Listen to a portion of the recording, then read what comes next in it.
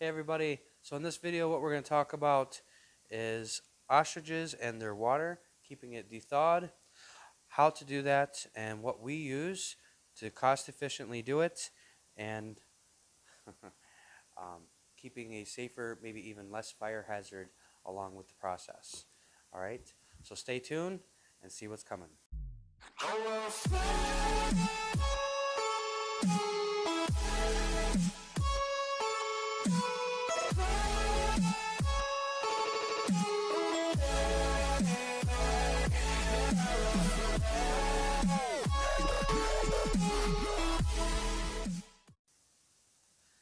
Hey everybody, so now we're going to talk about what we got.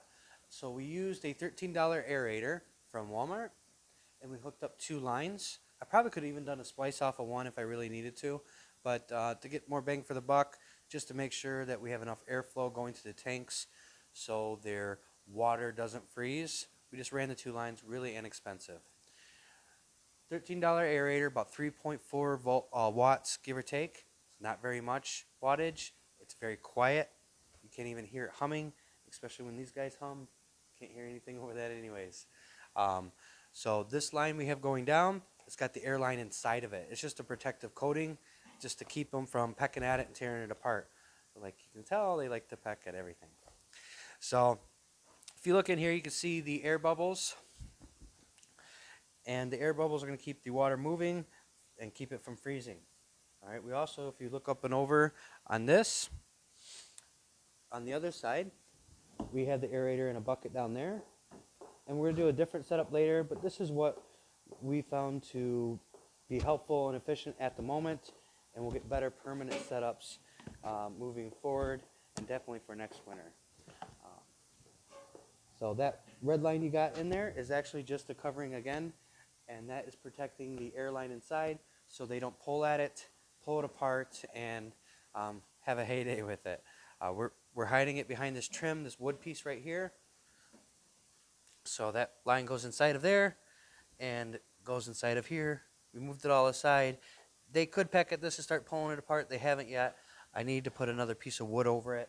And what that'll do is stop them from um, seeing it and um, having fun with it.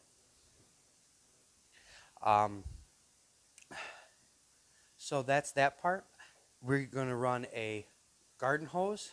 hey, you want to give me a hand too? Huh, Blue? You give me a hand? Yeah? All right, high five.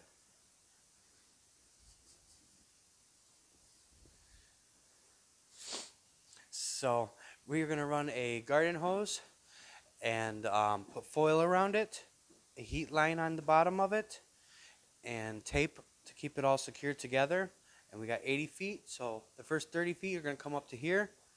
We're going to keep this nice and warm. This is actually probably going to be moved lower so we can water out into their buckets. And then we're going to run the rest of the line to the other part of the farm where we have rabbits and quail. We don't really do videos on those since everybody else seems to have those animals and they do a lot of videos.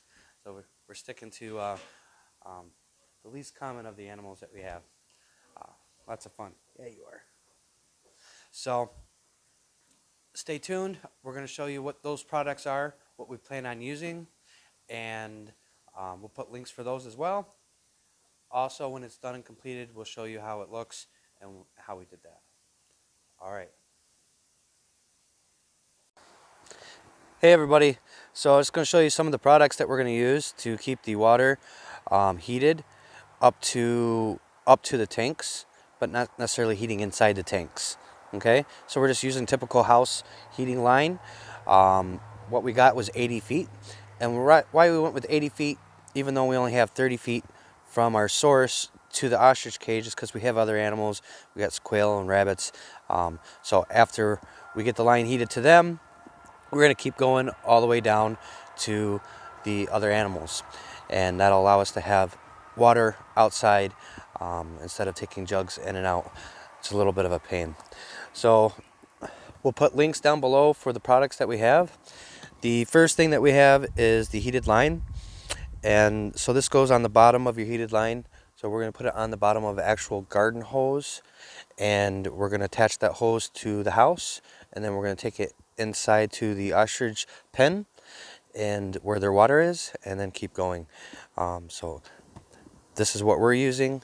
Uh, we don't get paid for promotions or anything like that. This is just what we found for the best price for as many feet that we could get. Okay. Um, to wrap that line, we are going to use this right here. So um, this is going to help keep that uh, heated line not maybe running as often with a little bit of insulation off of this. Okay, and since we don't need the full six inches, we took it to the bandsaw and cut it down, and that's what we're going to use to wrap around the line like so. Okay. Um, with that being said, we'll hold it all together with aluminum foil tape, uh, which I use a lot on a lot of things that are uh, heated duct lines and things like that. It works really well. Uh, I, I believe better than duct tape, and that's one of my best friends. So, but we like this a lot. Um, so we'll put links into some these products down below. We'll hook it all up and show you what our end result is. And um, if there's an issue, we'll do an update. If there's not, then we won't. But um, all this will also be, when it's inside the pen, we'll have a cover over it, uh, probably wood, uh, so the ostriches don't peck at it. Something shiny, something new. We all know they like to peck at something shiny and new, right? So we're going to keep that covered so that doesn't create a different issue uh, than the one we're trying to fix. All right? All right, just real quick. So here is the electric line. It's underneath of it onto the hose. And so what I used was electric tape. Uh, I won't put a link to that. That's as common as it is. And um, any electric tape will work. Um, it's just going to hold it together. Um, also, it won't melt through if it does ever get too hot. Um, one thing about electric tape is really good for that. So I didn't use like a scotch tape or even a duct tape. It kind of frays away when it gets too warm and doesn't really hold too well. So just wrapped it around, it's real cheap. So I just kept wrapping it this way all the way down the line. People, Some people do just sections, but I'm using a flexible hose instead of a hard line. So that's why I went with this route. And to go over it will be the aluminum foil, you'll see. All right, here's the finished result for the foil. It's wrapped tightly around it all the way down. Did pretty good. Of course, you had to leave the end open to be able to turn the water on and off through through there. Okay. Uh, the other cable is um, camera wire, so don't don't mind that. So that's the end result and all the way down we didn't do in the inside of the ostrich cage um, since it's out of the elements we're hoping that that'll be enough to just keep the water flowing up to up to that point so if it doesn't then we'll go in there and do it then uh, so all right hey everybody real quick um, there's a secondary reason that we're doing this right now versus later um, Probably should have done it earlier, actually. But this is what we got. Um, so we have a T that's blocked off with the screw. The T that goes to there, which goes to the other water. Um, and this this one goes inside the water. It's got a backflow valve, so water doesn't get inside and go back up the airline. And you know, very inexpensive um, aerator put in the bottom of the tank to keep the water from freezing. We now have a hole in the bottom, self-made moments ago.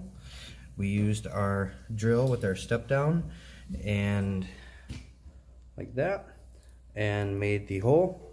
And now we're going to put this piece in, okay? And that's gonna allow us to be able to rinse and drain the bucket um, as other waters that you may have have the top and on top on them you're able to rinse those out just by opening them up, clean them out, put more water in. Uh, fortunately, this doesn't have that, and we knew that we were going to have to do it sooner or later. Um, now being the time for another reason, we'll tell you about that at a different moment. Um, but here's the hose that we're going to use. We're going to hook that onto the bottom, and that's going to be our drain hose to kind of just bring it out away from the wall a little and be able to do that. Um, make sure you pick up all your plastic pieces, shavings, nail screws, anything that the ostrich would peck at, uh, or even if you don't think he will, they will. Uh, so we just cleaned the floor again and cleaned our matting also. Um, and we'll do other videos on that, how we're using it, why.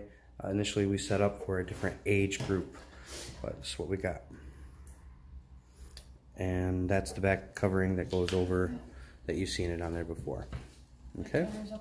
So it covers up all the plumbing and everything. Um, we are not doing a um, automatic fill um, yet. We may, but I don't know. We're adding some of their vitamins into their water. So in order to address that correctly, you would also want to know how much water they drink before you add more vitamins in. So you're not over, over giving them too many vitamins, you know. So it's kind of a catch-22. But if we have the water line near close by, we just turn the water on after we know the approximate of what they drink, uh, how many gallons worth. So, okay, here we go.